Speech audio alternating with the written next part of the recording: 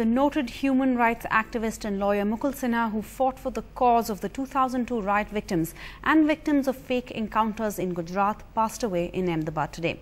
He was 63.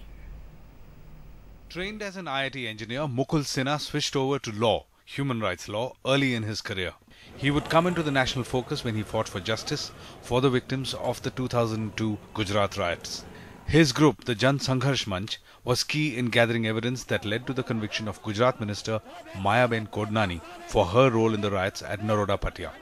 Mukul's next big battle was justice for those killed by the Gujarat police in what the CBI has alleged are fake encounters. It's once again evidence compiled by his team that led to the arrest of former Minister of State for Home Amit Shah in the killing of Sohrabuddin Sheikh.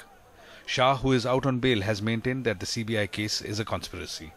Mukul's legal interventions also played a key role in exposing the complicity of police officers in the killing of Ishrat Jahan and Javed Sheikh in 2004. Many of us have been reading The Truth of Gujarat, an excellent website of facts and analysis.